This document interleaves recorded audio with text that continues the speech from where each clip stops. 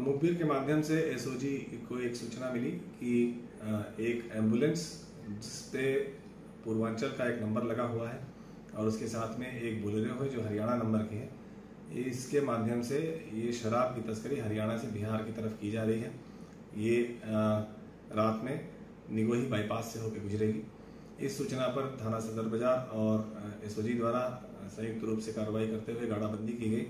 और एक एंबुलेंस जिसपे यूपी चौंसठ T one three two four number लगा हुआ था, उसको इंटरसेप्ट किया गया। उसके साथ में एक हरियाणा नंबर की बोलेरो भी थी। इंटरसेप्ट किया गया, जब उसकी तलाशी ली गई तो उस एंबुलेंस के अंदर जैसे एक मरीज़ को ले रहे थे, उस तरह से सारी चीज़ें, पर्दे इत्यादि लगा के और उस एंबुलेंस के अंदर से बासठ पेटियाँ शराब की बरामद हुई और बोलेरो के अंदर से नौ पेटी शराब की बरामद हुई, जो अंग्रेज़ी शराब है। जिसपे ब्लू नाइट नाम का वो लेबल लगा हुआ है ब्रांड और जिसकी कीमत लगभग दस लाख रुपए है। इस पे इनसे जो गिरफ़्तार, पाँच लोग गिरफ़्तार हुए हैं। इनके नाम सतीश, दिनेश, बलवान, विक्रम और यदवीर हैं। ये सभी हरियाणा के रहने वाले हैं, सोनीपत और पानीपत जनपद के।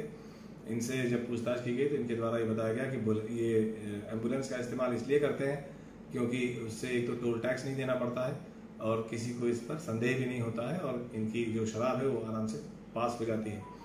जब यूपी चौंसठ नंबर की एंबुलेंस को देखा गया तो उस पर जो मालिक का नाम वाहन सॉफ्टवेयर पे जौनपुर का आ रहा था लेकिन जब इंजन नंबर चेसिस नंबर उसमें चेक किया गया तो बिल्कुल वो गलत निकला। उसमें कोई दूसरा इंजन नंबर चेसिस नंबर है, गाड़ी के कागजात नहीं थे। और उस गाड़ी का जो वाहन सॉफ्टवेयर पे डिटेल दे रहा है, वो हरियाणा का ही दे रहा है और स्कूल बस का दे रहा है।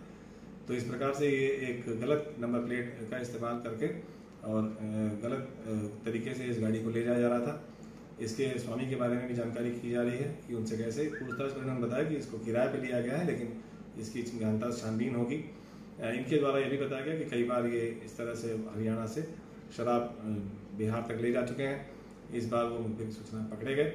और इनसे अन्य जो जहाँ भी इनकी सप्लाई चेन है और इनके जो फॉरवर्ड बैकवर्ड लिंकेजेस हैं, उनके बारे में भी गहनता से पूछताछ कर अग्रिम कार्रवाई भी की जा रही है।